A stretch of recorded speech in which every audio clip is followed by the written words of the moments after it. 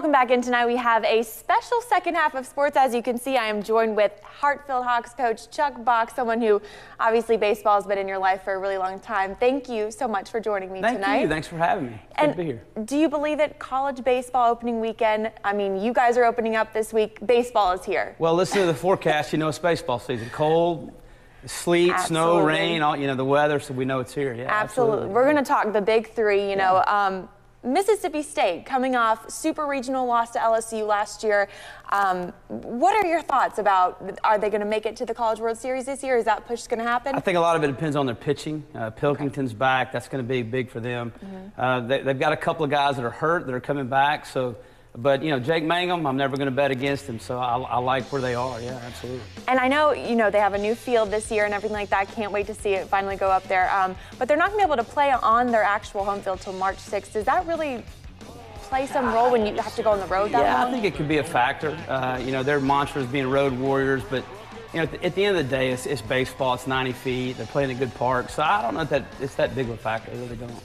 And what a way to open up the college baseball season. Southern Miss Mississippi State, you know, Mississippi State knocked off Southern Miss right, last year. Yeah. Um, Scott Berry's bunch, always really successful. I know this season he's actually suspended for the first two games because of something that happened last in season. The, yeah, in the regional. Yeah. Yes, yeah. but you know, still expecting success from them. Do you know much about the Golden Eagles and their baseball? I really program? do. Uh, you know, Coach Berry's done a great job. They they found a lot of kids from the Pine Belt area, mm-hmm. uh, return a lot of players, so it's going to be really exciting. I think it'll be a, a probably the best first weekend matchup in the country. Who do you think takes this, Mississippi State or Southern Miss? I'm, I'm not going there. I'm, I'm pulling for both yet. of them. Yeah, okay. absolutely. Yeah. Fair enough. Yeah. And then, you know, Ole Miss, they did go to the SEC tournament. Unfortunately, they lost to, uh, to Auburn. But do you think they're going to make it into the NCAA bracket this year? And, and what do you see from I, I really do. I think all three teams are. Okay. Um, I, I, know that you know Coach Bianco's done an amazing job there, and they, mm-hmm. they kind of had a down year last year, but I know they have a lot of guys returning.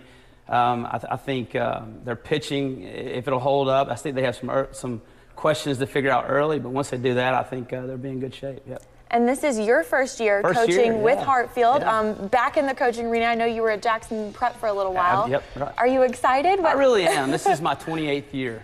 Uh, so it's exciting. That, yeah, the night before we, the night before open season, is still as exciting as it was 25, 28 years ago, and uh, I, I, really we're a young team, and but I like uh, I like the potential. Yeah, I really do.